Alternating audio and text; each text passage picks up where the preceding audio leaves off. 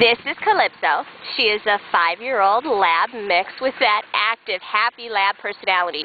She loves to be outside, loves to smell everything, meet everyone.